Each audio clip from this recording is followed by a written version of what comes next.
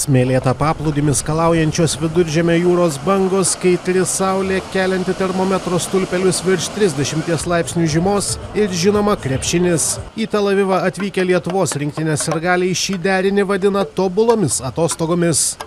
Kadangi mes gyvename mūsų viešbutis prie jūros, tai mes ryte papustryčiaujam, praleidžiam truputėlį laiko prie jūros, labai, labai geras e, vanduo, labai šiltas.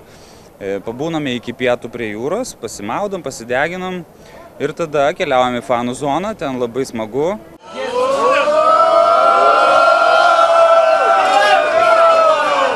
O paskui vėliau keliaujam į varžybas. Lietuvos rinktinės ir galiai neigia mitą, kad Izraelis labai brangi šalis. Pirmą kartą čia atvykę net nustebo, kad kainos nedaug skiriasi nuo lietuviškų. Pietus kavinėje 10 ar 15 eurų, puodelis kavos 2-3 eurai. Tiesa, alkoholis Izraelyje tikrai brangus. Už bokalą alaus teks pakloti 6 eurus ir daugiau. Kainos tokios tikrai nėra kaip prieš, prieš išvažiuojant girdėjom, kad kosminės iš tikrųjų kainos visai normalios ir būna ir akcijų, kad už, už vieną kainą du alaus gauni. Kainos parduotuviai, jeigu vietinėse mažose parduotuvėlėse, tai truputį brangiau, bet iš esmės tikrai nėra brangiau negu Lietuvoje. Labai, ne, labai nežymiai gal šiek tiek brangiau, bet šiaip labai panašu. Kaip buvau girdėjęs, kad žymiai brangiau, tai tikrai taip nėra.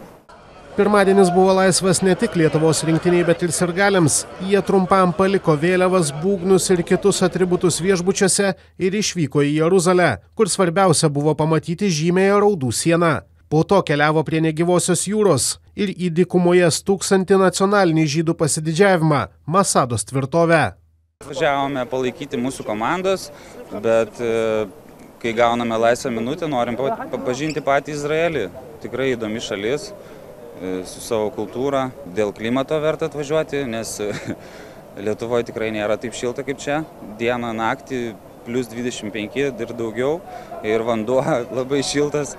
Tai jeigu mėgstate aktyvų polisį ar, ar pasyvų polisį prie jūros, tai čia labai puikiai vieta.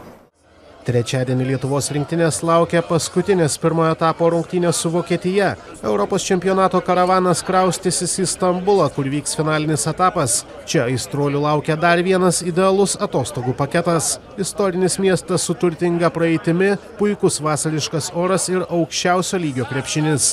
Reporteris Donatas Grybauskas.